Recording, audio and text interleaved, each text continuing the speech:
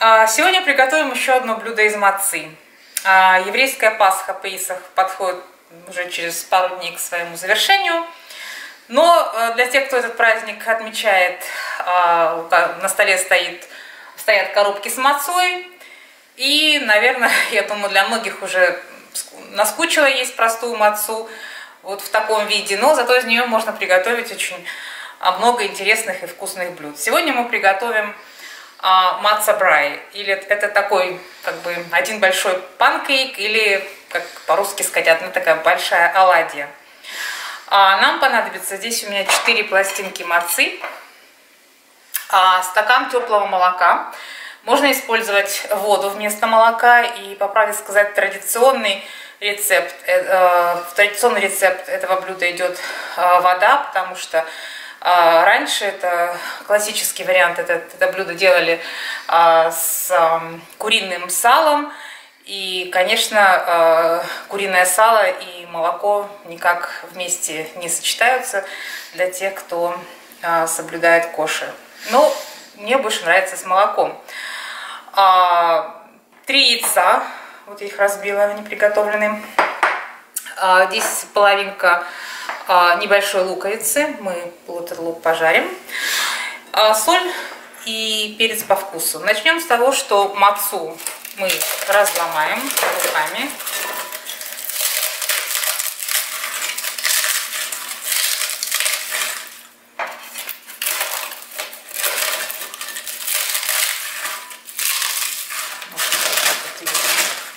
помять, доломать вернее.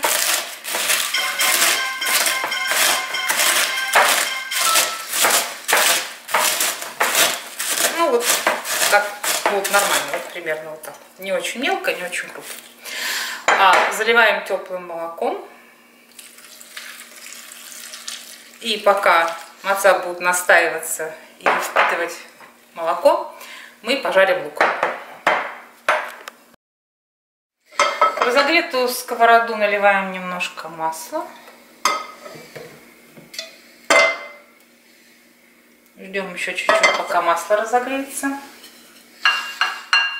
И на среднем огне будем жарить лук до золотистого цвета.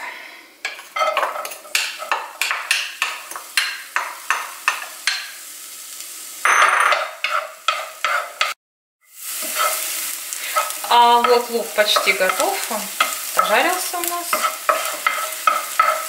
Все готово, выключаем и переходим к следующему этапу. Взбиваем 3 яйца.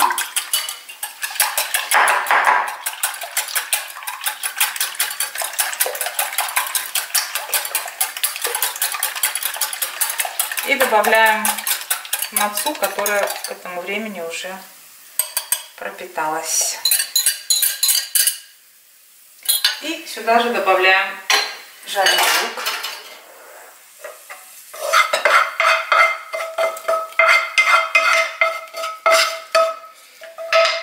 И все хорошо перемешаем. Вот такая у нас получилась смесь. Маца, залитая молоком, жареный лук, яйца. Теперь немножко посолим, поперчим по вкусу. Немножко посолить. Немножко свежего черного перца. Еще раз перемешаем. Все, теперь начнем э, запекать. Вернее, будем это жарить на большой сковородке. А, разогрели э, сковороду, наливаем немножко оливкового масла. Сюда же я добавляю кусочек сливочного масла. Я люблю, вот, когда что-нибудь такое жарить, немножечко сливочного масла и немножечко растительного масла. Получается вкусно. Сейчас масло перемешается. И выливаем вот эту смесь. Это как будто вот мы такой как омлет жарим.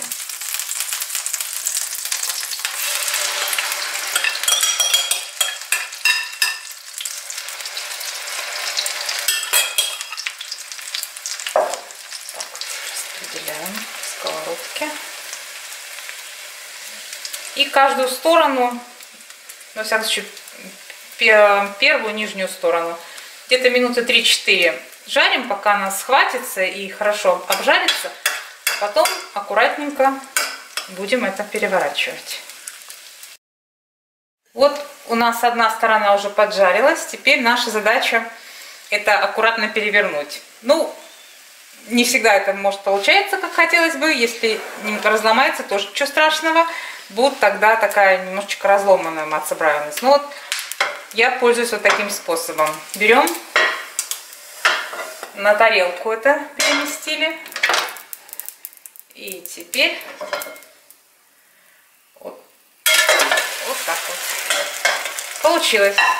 Теперь на, на той стороне буквально можно не так долго, как первую сторону мы обжаривали.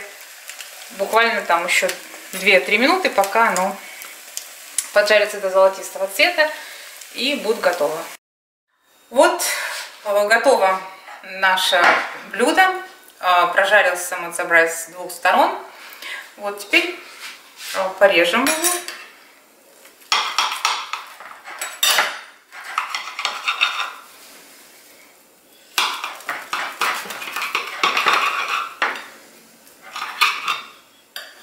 И положим на тарелку. Сейчас разрежем.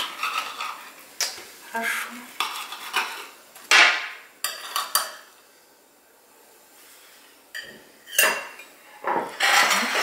можно подавать его э, с, э, с любым блюдом. Вместо хлеба, э, с, с салатом. Это блюдо очень хорошо подойдет на завтрак с копченой салмоном. Вариантов очень много. При этом хочу сказать, что если не добавлять сюда жареный лук, соль и перец, а добавить немножко сахара наоборот, то получится такой а, вариант более десертный, можно есть это с вареньем, с медом, с джемом, то есть вариантов много, и я думаю, что а, на следующий год, когда вы, когда словно наступит э, Пейсах, вы сможете попробовать все эти варианты. А сейчас вот в таком виде. Надеюсь, вам понравится. Это очень вкусно. Приятного аппетита!